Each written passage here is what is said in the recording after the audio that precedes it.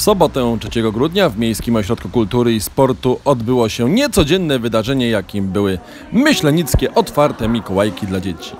Licznie zgromadzoną publiczność przywitał zastępca dyrektora myślenickiego Mokisu Piotr Szewczyk, który kończąc swoją wypowiedź zaprosił wszystkich na spektakl pod tytułem Narodziny w Nigdylandii.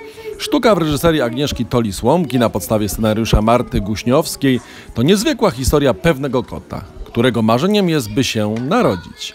Bocian raz na jakiś czas zabiera jednego z kompanów kota na ziemię do nowej rodziny, ale na naszego bohatera nigdy nie przychodzi odpowiednia pora. Zrozpaczonemu kotu z odsieczą przybywa szczur, który ukrywa go w bocianim koszyku i razem z pasażerem na gapę wyrusza do mysiej rodziny oczekującej na nowego jej członka.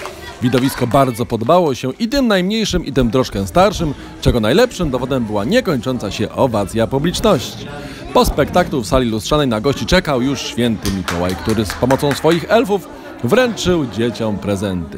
Nie zabrakło też wspólnych fotografii z sędziwym jegomościem.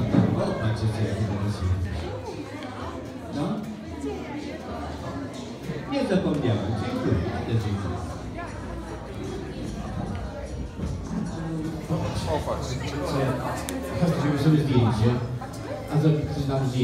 To nie był jeszcze koniec atrakcji, jakie tego dnia czekały na wszystkich, którzy przybyli do Miejskiego Ośrodka Kultury i Sportu. I tak każdy chętny mógł skorzystać z otwartych warsztatów artystycznych przygotowanych przez pracownię plastyczną Mokisu, zaś na tych najmłodszych czekały zabawy integracyjne realizowane przez Justynę Piechlik. Całej imprezie towarzyszył mini kiermasz prezentów świątecznych, gdzie można było kupić upominki, ozdoby świąteczne oraz rękodzieła artystów.